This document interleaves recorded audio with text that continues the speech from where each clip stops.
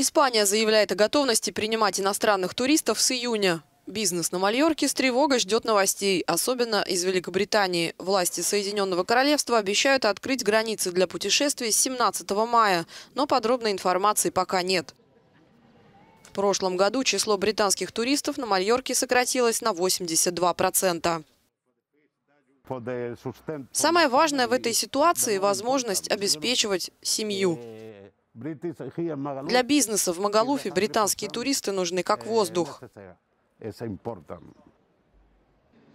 Сегодня, чтобы попасть в Испанию, необходимо предоставить справку об отрицательном результате теста на коронавирус и заполнить специальную анкету. Я смотрю в будущее с оптимизмом, потому что статистика у нас хорошая. Мы приняли эффективные меры, которые позволят нам попасть в список стран, куда разрешат ездить британцам. Большое количество туристов приезжает на остров также из Германии, где локдаун продлится до июня. Власти автономного сообщества Балиарские острова выделили 11 миллионов евро на поддержку туризма, в частности, на рекламу и меры поощрения, включая ваучеры на поездки между островами.